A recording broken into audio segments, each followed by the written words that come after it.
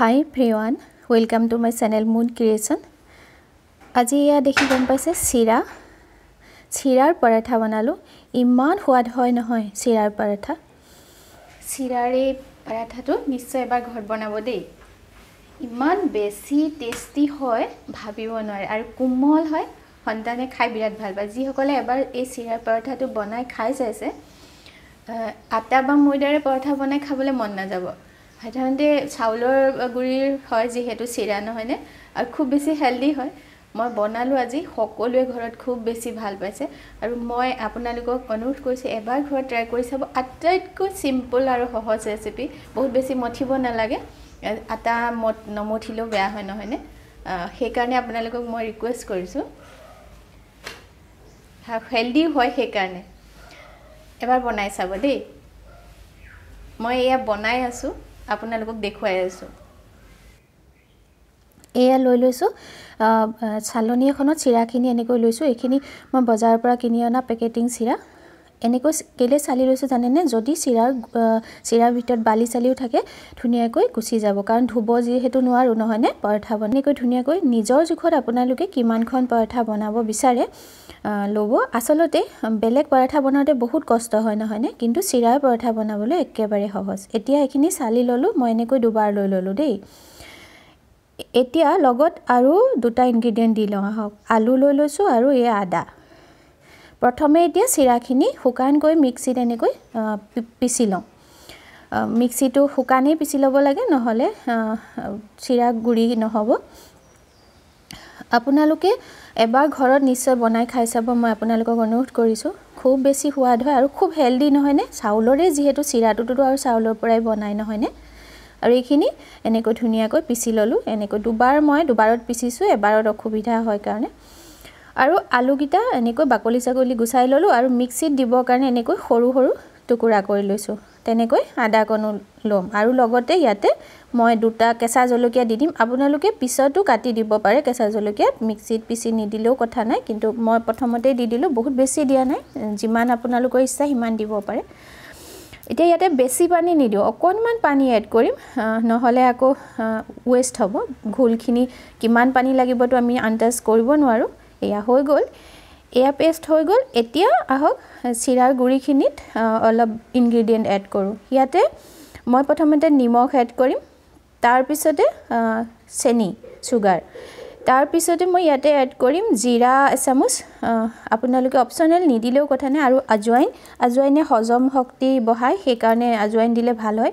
আৰু ধনিয়া পাত ছিজনৰ যিহেতু সেয়া লৈ লৈছোঁ আৰু কৈছিলোঁ ন ইয়াতে আপোনালোকে আৰু শ্লিপ চিলি ফ্লেক দিব পাৰে। এইখিনি ধুনীয়াকৈ এতিয়া সানি ল'লোঁ লৈ সেই আলুৰ পেষ্টখিনি আৰু আলু আৰু আদাৰ সেইখিনি দি লৈ অলপ অলপকৈ প্ৰথমতে দি লৈছোঁ দি লৈ এনেকৈ সানি ল'ম। এনেকৈ এবাৰতে দি দিয়া নাই কিমান লাগে চাই লওঁ। অৱশ্যে চিৰাৰ এনেকৈ আটাৰ দৰে চিৰাৰ গুড়ি মঠিবলৈ হ'লে যথেষ্ট পানী লাগে দেই কৈ দিছোঁ আপোনালোকক। এতিয়া নেক্সট এইখিনি গোটেইখিনি দি দিলোঁ দি লৈ ইয়াৰ পিছত এইখিনি সানাৰ পিছতে মই পানী অলপ অলপ অলপকৈ এড কৰি যেনেকৈ আটাৰ আমি দৌ বনাওঁ নহয়নে যেনেকৈ ৰুটিটো বেলিব পৰা জোখত আমি এটা দৌ বনাই ল'ব লাগে। আপোনালোকক এয়া মই দেখুৱাই দিছোঁ। পানীৰ জোখ দেখুৱাবলগীয়া নাই নিজৰ হিচাপত দৌটো বনাই ল'লেই হ'ল যাতে ৰুটিটো বেলিবলৈ সুবিধা হয়।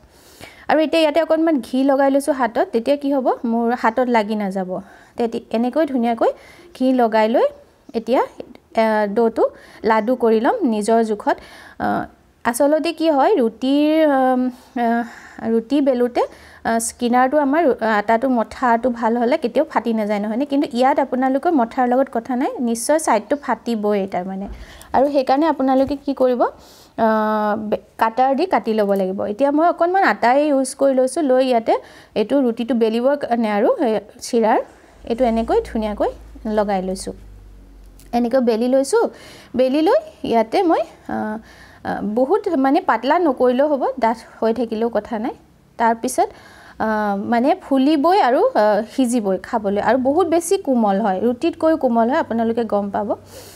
এনেকৈ ধুনীয়াকৈ আপোনালোকে বেলাৰ পিছত ছাইডবোৰ দেখিছেনে? ফাটি ফাটি আহিছে। এতিয়া জোখৰ কাটাৰ লৈ ল'ব এনেকুৱা বাতিৰ ছাইজত ইয়াতকৈ ডাঙৰ লওঁ বুলিলেও আপোনালোকৰ কথা কেনেকৈ আপোনালোকৰ সুবিধা হয় এনেকৈ এয়া কাটি ল'ব।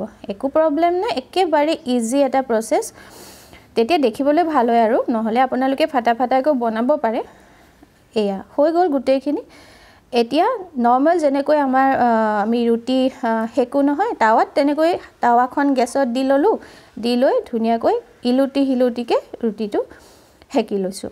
আৰু এইখিনিতে সদায় ৰিকুৱেষ্ট কৰাৰ দৰে কৰোঁ যদি মোৰ চেনেলটো চাই ভাল লাগে তেনেহ'লে আপোনালোকে নিশ্চয় ছাবস্ক্ৰাইব কৰি ল'ব। আৰু যদি ভাল লাগে ঘৰত বনাই চাব আৰু আপোনালোকৰ ফ্ৰেণ্ড চাৰ্কুলত শ্বেয়াৰ কৰি দিব। এয়া এনেকৈ দুবাৰ তিনিবাৰ এনেকৈ লুটিয়াই লৈ ইয়াতে ঘি অলপ দি দিম। আপোনালোকে তেলো ইউজ কৰিব পাৰে। এনেকৈ ঘি ধুনীয়াকৈ দি দুই লুটিত ঘি দি ধুনীয়াকৈ বনাই ল'ম। এয়া ইমান ফটাফট হৈ যায় দেখিছেনে? আৰু খাবলৈ খুব বেছি সোৱাদ হয়।